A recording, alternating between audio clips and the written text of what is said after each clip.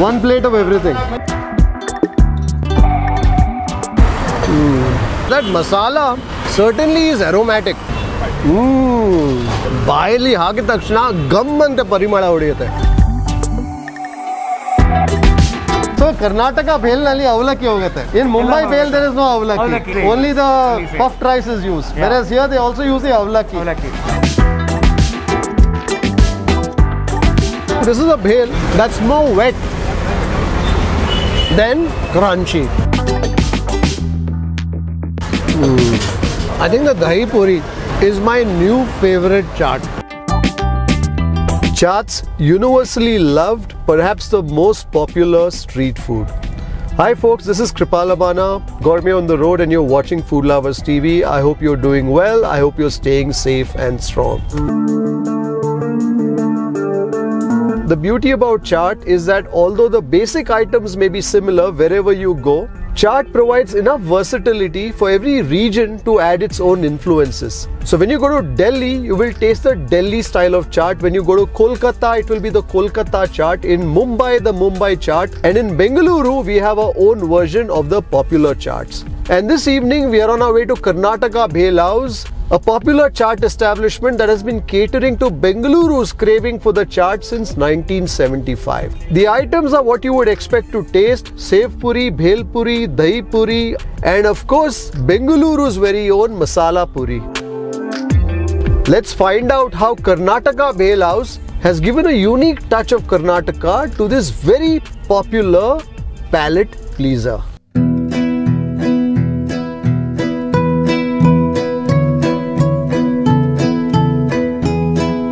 Namaskara. Hello, sir. How are you doing?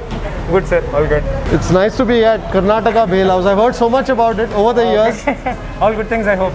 All good things. Yeah, sir. In fact, we've even done a local flavors. Yes, sir. This was a series that we used to run years ago.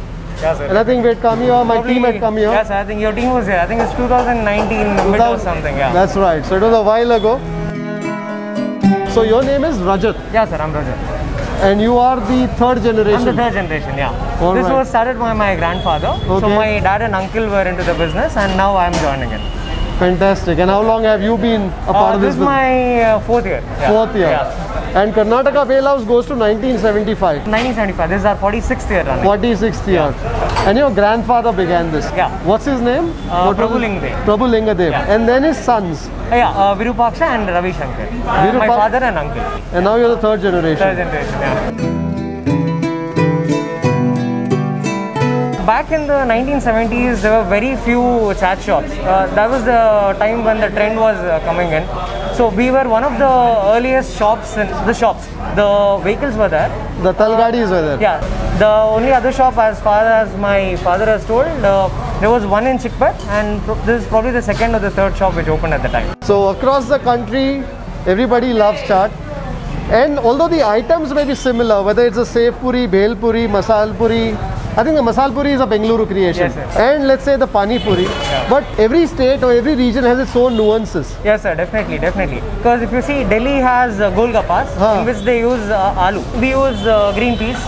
So it's a South Indian uh, type of chaats which we do. Uh, Okay. As you see, every region has its own different flavors. So ours is mostly based on the South Indian flavors. So when your grandfather learned this trade, did he learn it from people from the north? Yeah, uh, one of my grandfather's friend uh, used to work in Mumbai.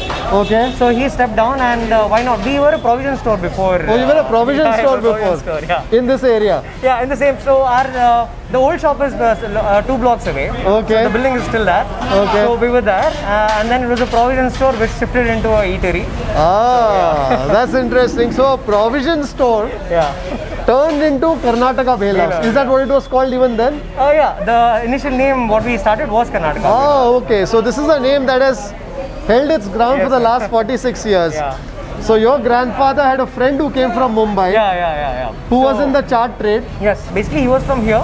He went to Mumbai to work, and then he's back here, and we in collaboration we just started. Ah, Yeah. so that's how chaat made its journey from Mumbai to Namma Bengaluru at Karnataka Bhel House. Yeah, sir. Can we take a look inside, Yes, sir. Please. see what's please, happening? Yeah, please.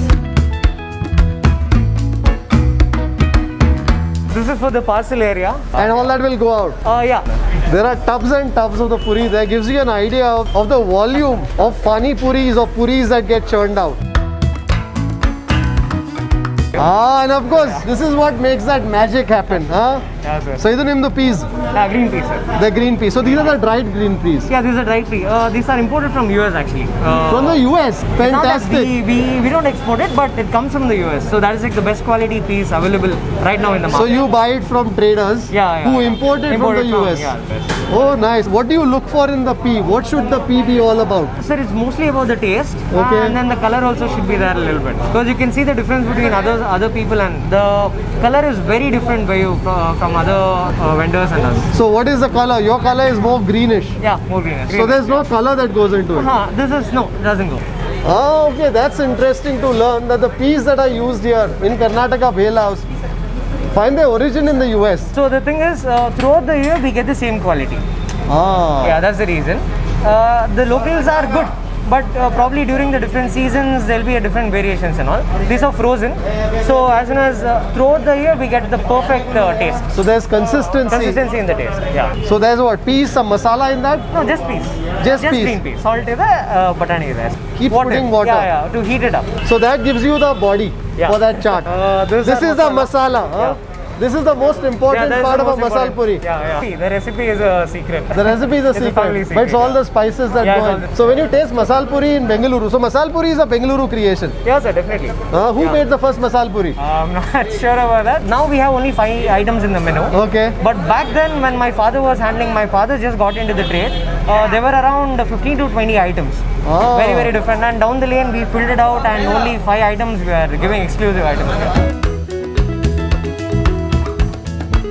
Uh, this is the red chutney we use specially for bel puri and sev puri. So isn't kaiva? It's a mixture of uh, two to three different spices. So I'm sure there's some garlic also in that. It's called bel kara. Bel kara. Bel kara. So in fact, this reminds me of the lasun chutney in the oh, Bombay yeah, yeah, style of correct, chaat, correct, right? Yeah, so in Bombay style of chaat, when you ask for a sev puri or let's say a bel puri, and if you were not a Jain, you would ask for the lasan ki chutney, and I think that's what it is. But then perhaps here, I think the color comes from the Byadgi mentioned yeah. this is asikara we say ah. hasi mention kai green chili we call it hasi mention kai so this is asikara so ಇದರಲ್ಲಿ coriander mint ಎಲ್ಲ ಇದೆಯಾ mint ಕಡಿಮೆ ಇರುತ್ತೆ but very little this more of green chilli more of green more of green spicy ಇದೆ spicy ಇದೆ ಅದು sweet chutney yes ಅದು sweet chutney a little bit of dates hunseno and billa Oh, and jaggery. No, jaggery and. Uh, I'm sure there's some chili powder also that. No, no, no we don't use chili powder. Oh, it's completely yeah, sweet. Completely sweet. But yeah. of course, there's some curd. There's curd for dahi puri. For dahi puri. Dahi puri. These are all getting ready. yeah sir Uh, ಇದನ್ನ ಸೇವ್ ಪುರಿಗೆ it's sev ಪುರಿಗೆ masal puri this for masal puri that's for dahi puri That's for Yeah, dahi yeah, puri. yeah. So Karnataka ಬೇಲ್ನಲ್ಲಿ ಅವಲಕ್ಕಿ ಹೋಗುತ್ತೆ in Mumbai ಎಲ್ಲ bale there is no avalakki avalakki. Only the Only same. Puffed rice is used Yeah. Whereas here they also use the avalakki avalakki ಅದೇನು ಬಿಕಾನೇರ್ ಸೇವಾ ನಾವೇ ಮಾಡೋದೆಲ್ಲ ನಾವು ನೀವೇ ಮಾಡೋದು ನಾವೇ ಮಾಡೋದು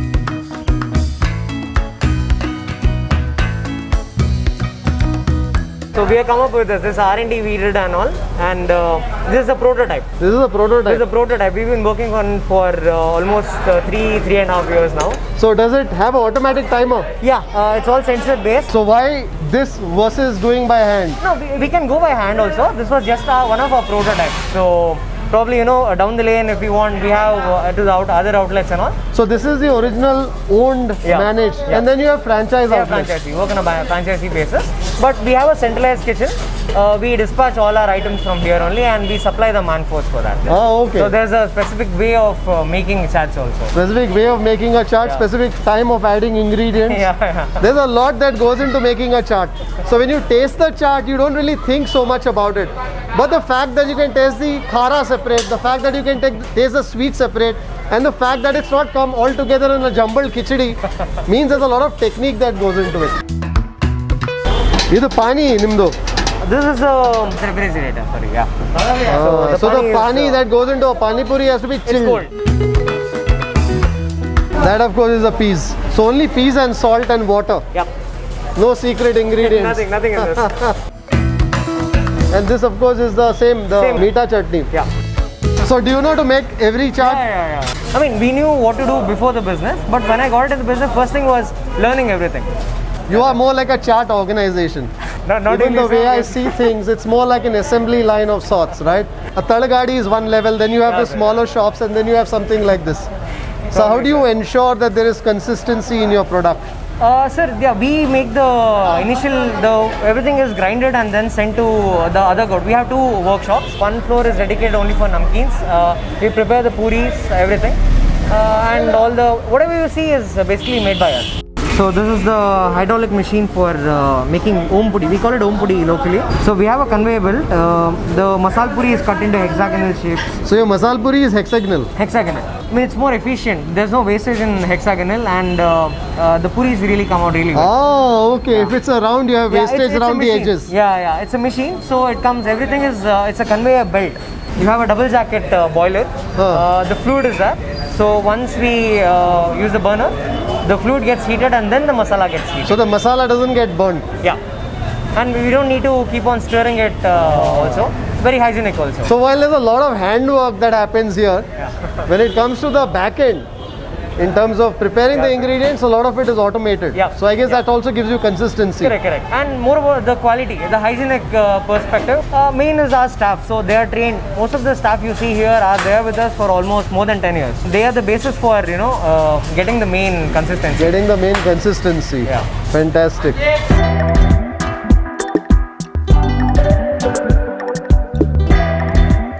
Well, time to order our chaat.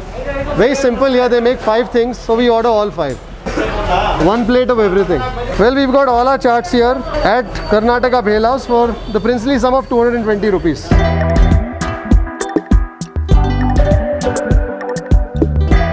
That's the masal puri. This is a masala puri. And that's what we're going to begin our tasting here at Karnataka Bhel House with the Masal Puri.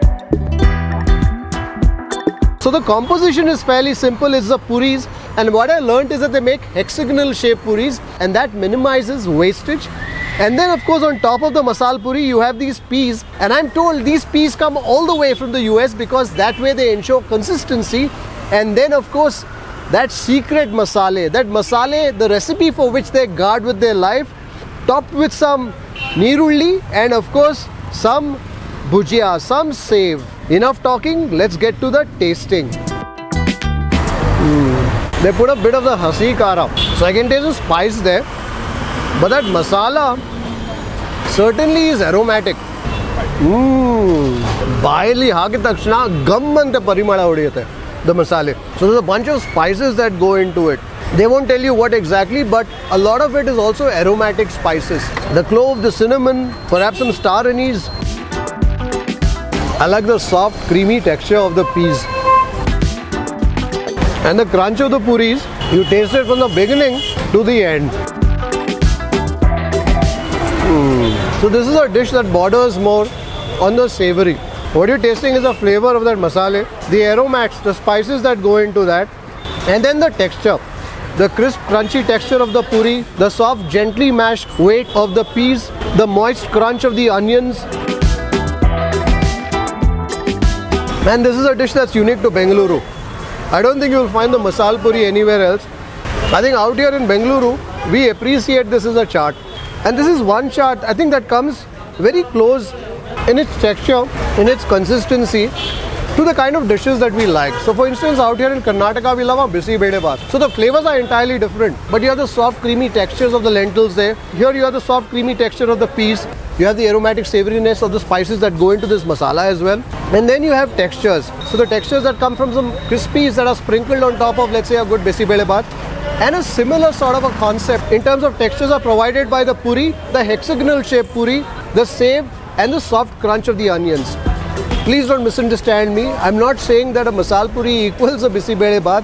What I'm referring to is the kind of textures and the kind of nuances and flavors that we in Karnataka find most comforting. And I think that has led to the creation of this Karnataka only masal puri.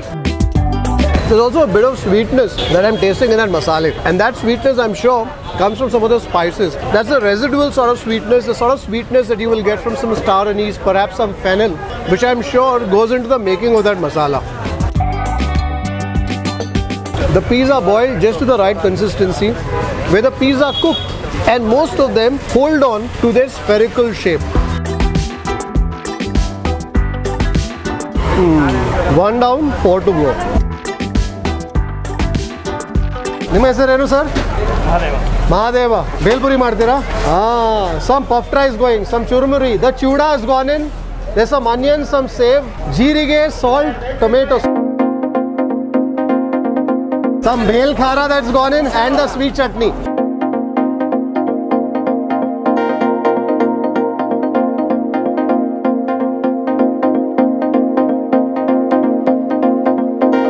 the bhel puri. So I've requested for them to do a one by two of the bhel because when I looked at the portion of the bhel that was fairly large and I thought if I were to finish that I don't think I would have been able to taste much of the three other chaats that we need to taste here. So the interesting thing about the Karnataka bhel is the use of the avlaki, the spiced avlaki, the beaten rice. And also the lasan chutney that you find in Mumbai has been tweaked a bit here to also incorporate the Byadgi Mensankai which is what gives the bhel here its red color. And then of course there's plenty of tomatoes, some nirulli and some peanut as well. And I suspect that peanut perhaps comes from that spiced avlaki mix. So this is a bhel that seems to have soaked up the chutneys rather well. So the puffed rice isn't so puffed anymore. What you're tasting mostly in addition to the slightly warming, slightly tangy and sweet chutney is a texture, the crunch of the tomatoes, the onions, the peanuts that clamber onto your spoon every once in a while. The puffed rice serves to soak up, soak up all the chutneys. This is a bhel that certainly has plenty of tomatoes going in it. And the pulpy bite of the tomato contrasts nicely with the crunch, the crunch of the avlaki and of that save.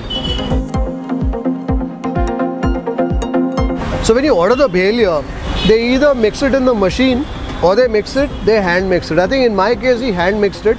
But I suppose because they sell so many bhels, the machine helps make that process easier. And this is something that I never thought about. But Rajat here tells me there are only a few people here who can mix the bhel. And I was wondering if there was a technique that was involved. He said, no, it's not about the technique. It's about the sheer strength in your arms. And not everybody can do that. So the people who mix your bhels are the ones who are endowed with strong arms and shoulders because they're the ones who can mix hundreds of bhels every single evening. In closing, this is a bhel that's more wet than crunchy. At least the plate of bhel that I'm tasting.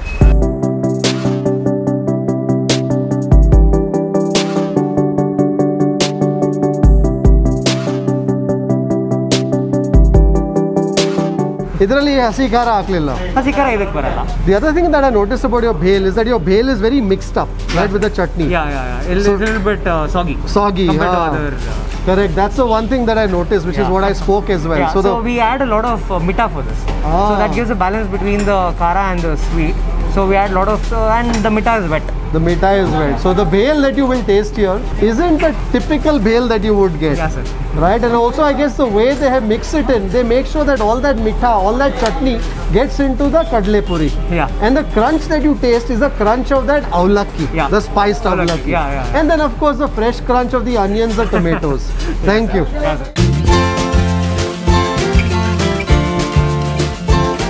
Well, there are a sea of chaat lovers that we have to cross before we find a spot to savor this plate of Sev Puri. Well, it's drizzling a bit here in Bengaluru. I think I'm going to step in lest I dilute the chutneys in my Sev Puri. So there's loads of the bhel chutney that goes into it. That explains the orangish red color of the Sev Puri here. Hmm. There's plenty of peanuts in this Sev Puri. Of course, the save, the papadi is crispy, but what I'm enjoying more is the warming sweetness of the toppings. The potato, the avlaki, the onions that do well to hold onto the flavor of that bhel chutney. That chutney which has chilies, some spices, and also some garlic.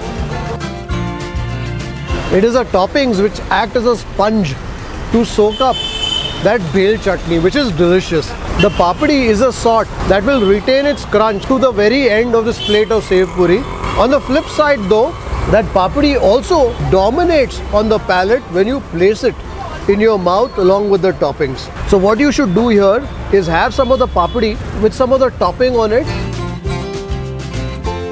Mm, where you will taste more the flavor, the richness of that papdi and very quickly follow it up with a scoop of only the toppings. The boiled potatoes, the onions, the avlaki and that sev that has been submerged under the weight of the chutney, mostly that bhel chutney.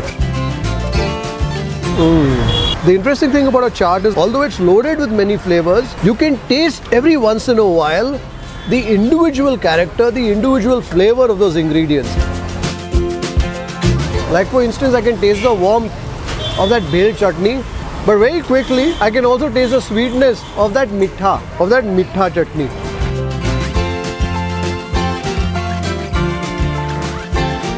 Time to head back and get the last two of our chaats.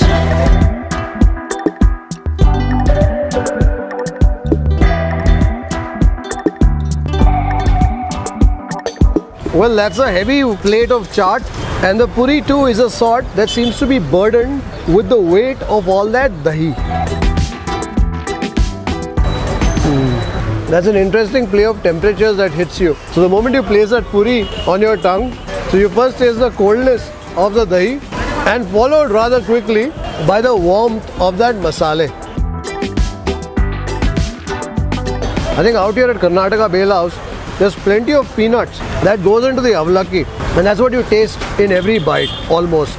That puri is barely able to hold its form.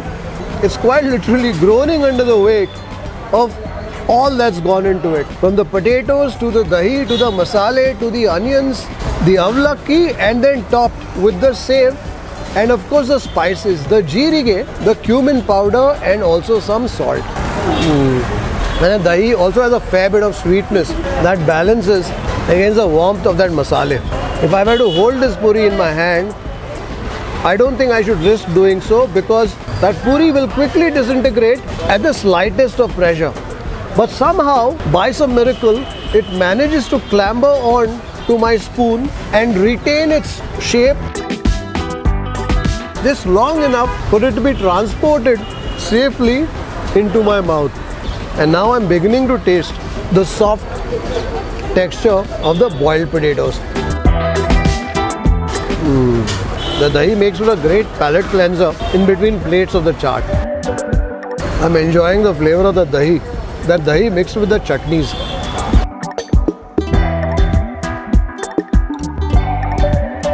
I think the dahi puri is my new favorite chaat. Yogurt has a beautiful ability to embrace all sorts of flavors, all textures into its fold, yet allowing for the flavors of the other ingredients, whether it's that aromatic warmth of that masala with a tinge of garlic, it embraces all those flavors, yet allows for them to retain their character as you savor it within that loaded puri.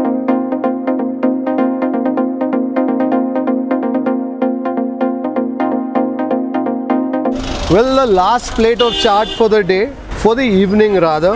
And I must say the chaats that I've tasted here at Karnataka Bhel House are the sort that are quite filling. I have tasted five or six chaats on earlier occasions, but I think out here they believe in giving you the biggest bang for your buck and that also extends to the portions, the quantity of the chaat. And at the heart of most chaats here is the peas, the green peas. And that green peas, as you savor one plate of chaat after the other, and of course burdened with some of the other ingredients too, whether it's the potato, the puffed rice, the avlaki, not to forget the yogurt, you start feeling the satiating effects of an indulgent chaat outing. So typically when I serve the pani puri here is served with the peas, the onions and the pani. But I also asked for a touch of sweet just to balance things out. I think let's get some of the peas into my puri and dunk that puri into the pail of pani. Hmm, That's certainly the pani that grips hold of the back of your throat with its spice.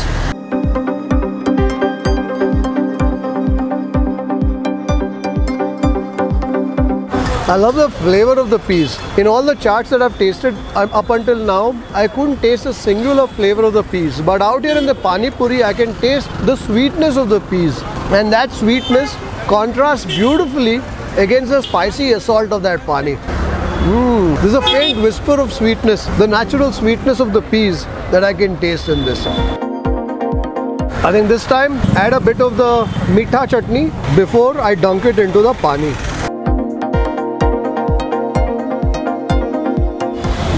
And that's the sort of pani puri that appeals to my palate. So it's got the khara of that pani. I'm sure there's some green chili that goes into it because the khara in that pani is a sort that grips hold of your throat. But the peas, especially when supported with that meetha chutney, do a good job of toning down some of that khara. To me, the surprise element in this plate is the peas. I love the sweetness of the peas. Let me taste some of that sweet chutney. Mm. There's also a touch of sourness that comes from some hunse and some tamarind. So it's a chutney that's khatta meetha. It's sour and sweet. I think you definitely need the sweetness of that meetha chutney. If you were to ask me, to complement the flavors that you savor in that pani puri. When you taste it just with the spice, well, if you like spice and spice is your thing, that'll certainly get you going. But for me, I definitely need that meetha chutney to complement the natural sweetness of the peas. I think I'm going to get some more of the peas. And this time the peas are busy, busy, hot. And what I learned from Rajat is that other than salt, there's nothing that goes into that pea mash. So it's the peas that are boiled with a bit of salt and that's it.